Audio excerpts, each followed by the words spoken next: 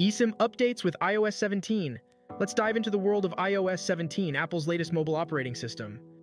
One of the exciting new features is the simplified eSIM installation process. In this video, we'll show you how to add an eSIM to your iPhone using iOS 17. No more hassle with transferring QR codes from your PC to your device. Let's get started. Step 1. Navigate to Settings. First, open the Settings app on your iPhone. Step 2. Select Cellular.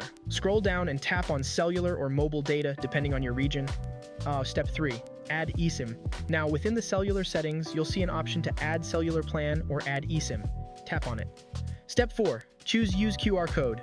When prompted to add an eSIM, select the option to use a QR code. Step 5. Open Photos. Here's where iOS 17 makes it super convenient. Instead of relying on an external source like a PC, you can access your iPhone's local photo album. Step 6. Select eSIM QR code. Browse through your phone's gallery to find the eSIM QR code you want to use. Once you find it, tap on it. Step 7. Activation. The magic happens now. Your device will automatically recognize and extract the eSIM information from the selected QR code. You'll be guided through the activation process. And there you have it.